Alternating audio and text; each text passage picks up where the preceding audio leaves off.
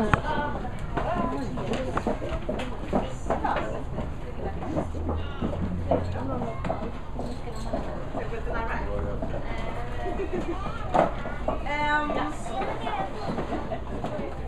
ni får gärna komma lite närmare. Om ni inte har något så är det för att vi inte har börjat än.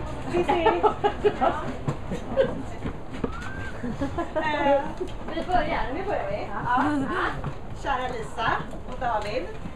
Ehm, varje fredag, så, som det har nämnts här innan, så brukade vi alla nio flickor samlas hemma hos eh, min mormor, eran farmor, i Stureby.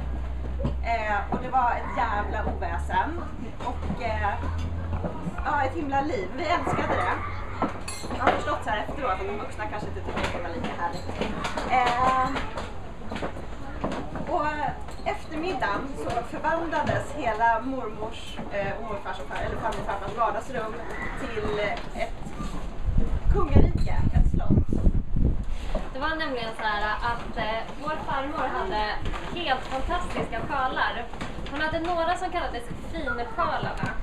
Och det var sällan vi fick låna dem. Och sen hade hon ett annat skåp, ett annat skåp med lite mindre eleganta sjalar. Men de här sjalarna, oavsett vilka vi fick låna, förvandlades för oss till vackra gyllene tyger, balklänningar och i, ja, hela världar.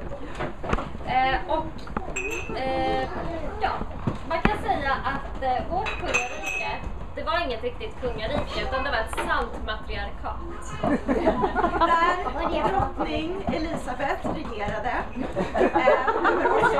Och eftersom du var äldst så var det ju du som bestämde. Och du var oftast drottning, möjligtvis prinsessa. Vi var eh, städare, eh, troll eller slavar. Slavar var det bästa, det var det högst rankade. Målade också upp en småfolksvärld för oss som Tammy fortfarande är rädd för. Som befolkades av olika varelser. Och det har gått några år nu, men vi ser att du har skapat dig ditt egna kungarike och fortsatt vara drottning i det. Nu med en kung David vid din sida.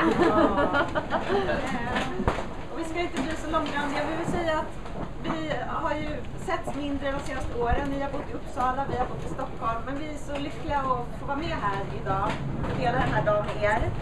Och vi överlämnar nu vår drottning Elisabeth till kung David med varm hand. Det känns tryggt. Eh, Så vi säger skål och grattis.